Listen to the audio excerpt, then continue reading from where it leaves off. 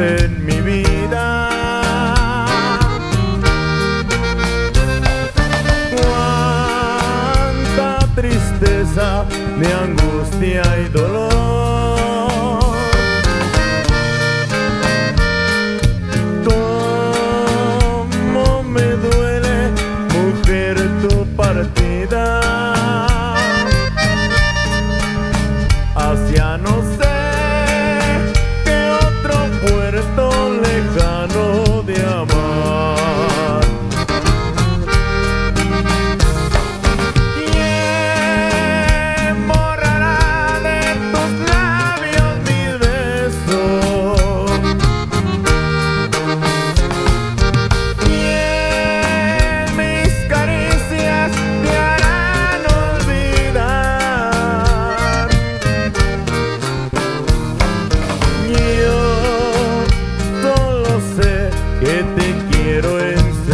Solo